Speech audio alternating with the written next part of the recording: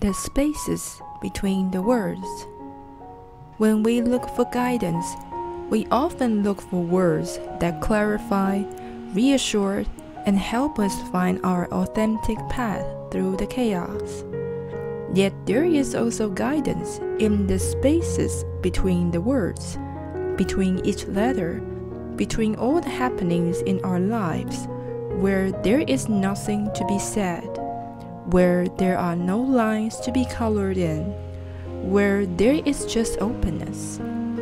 Those are the times when we need to freestyle. We need to do or not do based on what is happening for us right in the moment. Often, there is far less to do than we think.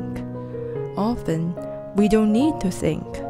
There is a space forming around you now.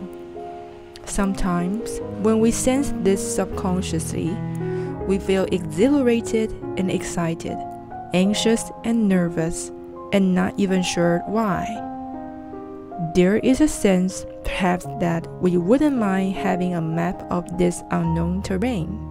Or perhaps we are happy to wing it and make it up as we go.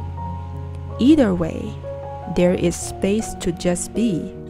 It is a receiver for the divine presence. If you have a lot of space of unknowing around you now or within you, then just know that there is a lot of divine presence to be received.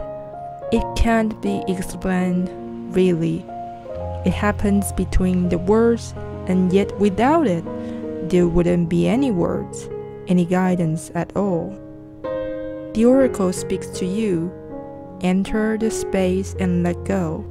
For your time to receive is upon you.